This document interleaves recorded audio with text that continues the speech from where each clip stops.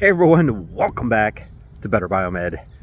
Today I was reading the forums this morning, catching up on what the heck is going on, and I see yet another instance where people are panicking because their parts provider is unavailable.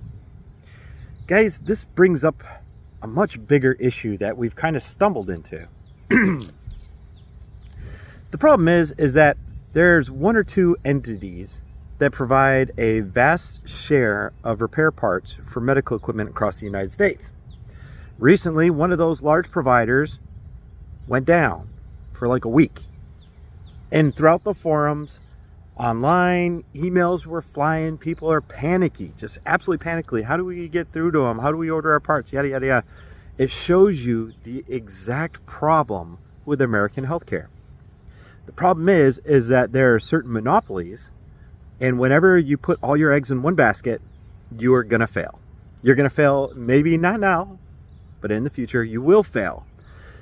So when we have all these large conglomerates that are forming that provide us our parts, it's a formula for a failure of American healthcare system. It's also why we fight for a right to repair, because as we diversify our sourcing for parts and our sourcing for materials and equipment, it allows us to be more, more much more flexible as an industry. So guys, um, I seen it again this morning that one of these large parts providers seems to be down and people are already starting to panic this morning.